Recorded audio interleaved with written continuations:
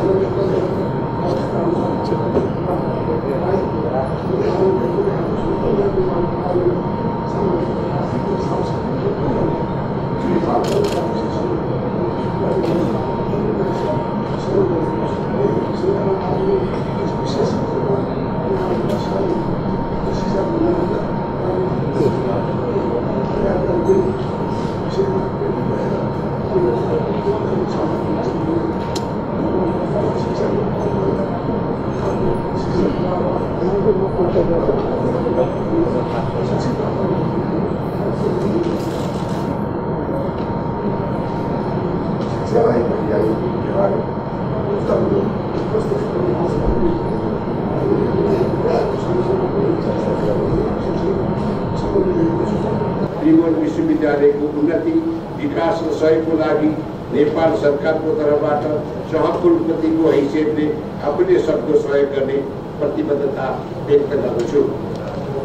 विद्वान सभासदज्यूहरू समय परिस्थिति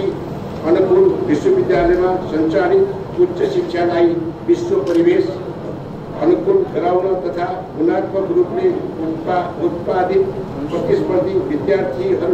विश्व बजार में स्थान प्राप्त करना सकूँ भर्वकामना व्यक्त करना चाहूँ हाल विश्वविद्यालय ने सेमेस्टर प्रणाली लागू करें इस व्यवस्थित विस्तार करने योजना अंतर्गत उपत्य भि विस्तार करने विषय